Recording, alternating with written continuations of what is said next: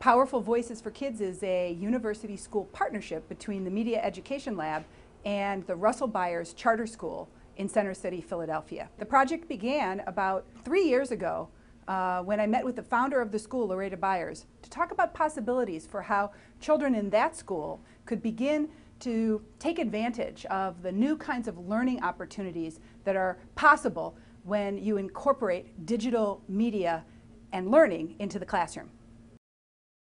Who remembers what this word means?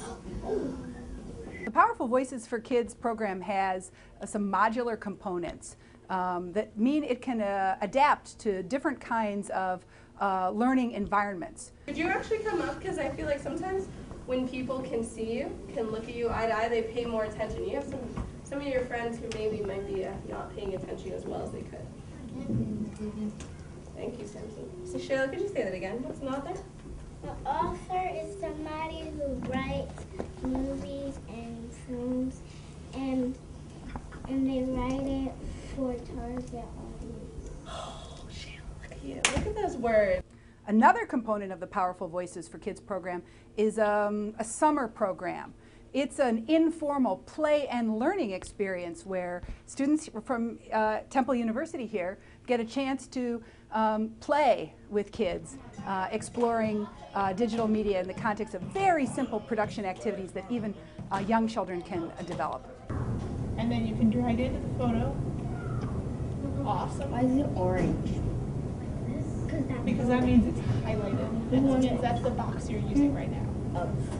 Another component of the Powerful Voices for Kids program is a parent outreach initiative. And we also spend a lot of time thinking about how to document and research our process because really our goal is to provide a set of um, tools and resources, lesson plans, and really new knowledge to help other educators in other communities um, make use of some of these new ideas that we're developing here in a laboratory-like setting uh, at the Media Education Lab. One of the biggest challenges we've had to address is sort of mm, acknowledging teachers' anxieties and fears and parents' concerns about the sort of overwhelming role of digital uh, media in the lives of children and really transforming some of that um, natural protective and anxious attitude uh, into what we call an empowerment perspective really thinking about how children and young people can be empowered by digital and media uh, as tools for learning and engagement uh, and building um, intellectual curiosity. For about the last 30 years, uh, digital and media literacy has been mostly implemented in the context of secondary education. But very little work has been done exploring how digital and media literacy can be implemented with children ages 5 to 13. So that's really the origin of the Powerful Voices for Kids pro uh, program, trying to find out how to build kids' critical thinking and communication skills when they're five, six, seven, eight, and 9 years old.